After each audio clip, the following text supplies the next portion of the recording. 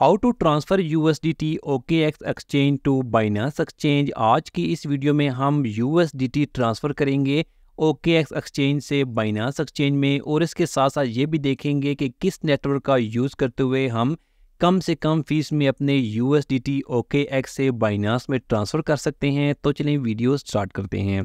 बहुत ईजी है। पहले आपने क्या करना है कि ओके एक्स एक्सचेंज को अपने मोबाइल में ओपन करना है। इसके बाद एसेट्स में जाना है।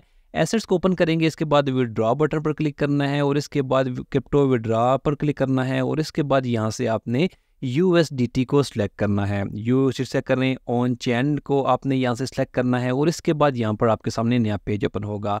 सबसे पहले हम नेटवर्क में जाकर चेक कर लेते हैं कि किस नेटवर्क पर सबसे कम फ़ीस है। टीआरसी पर 2.5 यूएसडीटी है ई सी ट्वेंटी पर 3.82 यूएसडीटी है। नीचे देख सकते हैं, अब कितनी ज़्यादा फ़ीस है। लेकिन यहाँ पर टोन नेटवर्क का यूज़ करते हुए हम 0.15 यूएसडीटी फ़ीस में अपने यूएसडीटी ट्रांसफ़र कर सकते हैं तो हम यहाँ से टोन नेटवर्क को सिलेक्ट कर लेते हैं। इसके बाद हमें डिपॉजिट एड्रेस के लिए बाइनास एक्सचेंज को ओपन करना है। आप अपने मोबाइल में बाइनास ओपन करें। बाइनास ओपन करने करने के बाद आपने यहाँ से वॉलेट्स में जाना है और इसके बाद आपने यहाँ से सपोर्ट में जाना है।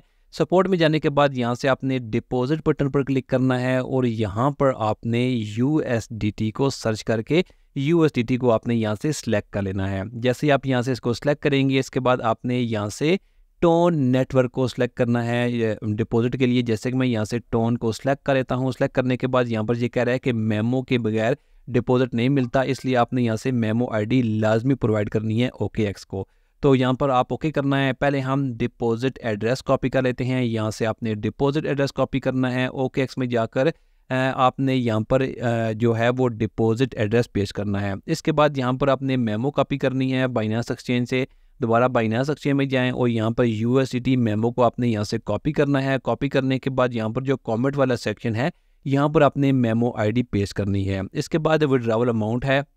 आपने यहाँ पर यू टाइप करने हैं। जितने भी यू आप ट्रांसफ़र करा जाते हैं वो टाइप करें और इसके बाद आपने यहाँ से सबमिट बटन पर क्लिक करना है। जैसे ही आप यहाँ से सबमिट बटन पर क्लिक करेंगे तो इसके बाद आपने यहाँ से चेक मार्क लगा कर कंटिन्यू करना है और कन्फर्म बटन पर क्लिक करना है। जैसे कन्फर्म करेंगे तो आपको ईमेल पर और गूगल एंथेंटिकेटर पर जो कोड होगा, आपने वो पहले पेश करना है। जैसे कि मैं पहले ईमेल पर कोड जो है, वो कॉपी करके यहाँ पेश कर देता हूँ। इसके बाद आपने यहाँ पर गूगल एंथेंटिकेटर का कोड यहाँ पर पेश करना है। पेश करने के बाद आपने यहाँ से कन्फर्म करना है। कन्फर्म करेंगे तो यहाँ पर आपकी जो विड्रा की जो रिक्वेस्ट होगी वो सबमिट हो जाएगी।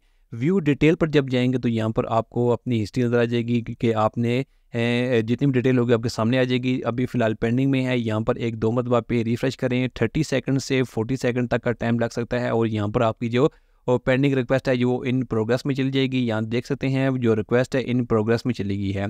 यहाँ पर तकरीबन 40 सेकंड गुजर चुके हैं वन मिनट तक का टाइम तकरीबन गुजर चुका है। अब हम यहाँ पर बाइनास में जाकर इन डिपॉजिट चेक करते हैं और यहाँ पर एक मतलब आप पेज रिफ्रेश करेंगे।